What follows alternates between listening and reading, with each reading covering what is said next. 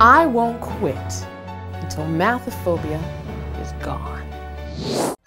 In high definition, this is KCAL 9 News at 2. All right, coming up, fighting mathophobia, an award-winning rocket scientist is going to be here with us to show us how to reprogram our brains to handle numbers. You're watching KCAL 9 News at 2. Oh, I know a lot of us have mathophobia. It's a fear of anything involving numbers. For college students, though, it can really hold them back in math and science courses. Author and rocket scientist Olympia LePoint is here with some tips on how to reprogram your brain for mathematical success. Welcome, Olympia. Thank you, Sandra. How are you? Thank you. I'm good, but I think I've been diagnosed with this. I have mathophobia, and, and I think a lot of people in journalism do. Yes, well, a lot of people over the United States has that issue. Uh, most people are unaware that well, I was a award-winning rocket scientist, helped launch 28 uh, space shuttles into outer space successfully, and created a mathophobia.com educational program. But, but, but people are unaware that I failed algebra, geometry, and made a D in calculus because I struggled in mathematics and science because I had what I scientifically found as mathophobia.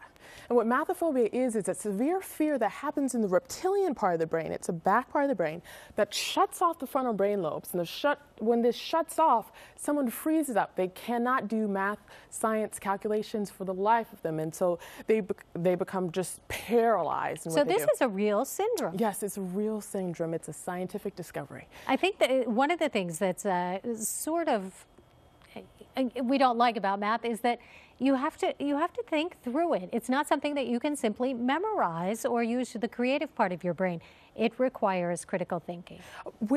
It's critical thinking is required. If we look at what's happening right now in the United States, the United States ranks 25th out of 27 industrialized countries when it comes to math education. There's a shortage of individuals going into science, technology, engineering, and math fields. And if you go to a basic cash register at a grocery store, when the, the cashier doesn't know how to count and give your change back, America has a problem.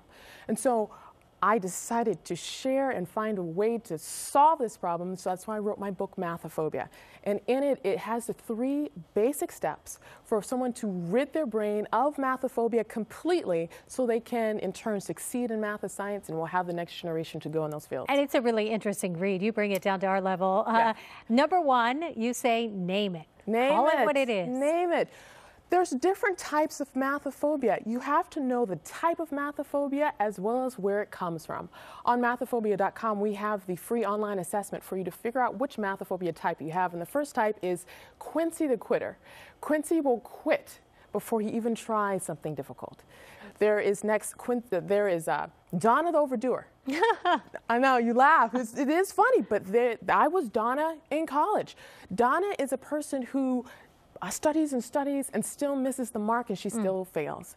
There's Samuel the struggler. Samuel is a brilliant Einstein, but he doesn't know how to communicate his thoughts to the next person, and so he becomes frustrated. And lastly, it's Crystal the criticizer. She'll point fingers at everyone for her poor performance because she doesn't know how to become a beginner again. So that's step number one. So after you identify who you are, yeah. then you can actually reprogram your brain. Step number two? Exactly, exactly. Just like we have hard drives on our computer where we have a virus and we have to reboot the computer, take the virus out, and actually reformat the computer so we can actually use it again, our brains are the exact same way. In the book Mathophobia, I explain the process to actually reboot your brain rebuild your brain. For example, if Quincy the Quitter is a person who has difficulty uh, tackling uh, projects, what he needs is the knowledge that there are individuals with him, helping him, coaching him to be able to tackle new things. And number three, build your brain. Exercise it. Build your brain. When we first identify our mathophobia, and second, we reprogram our brain, that's not enough.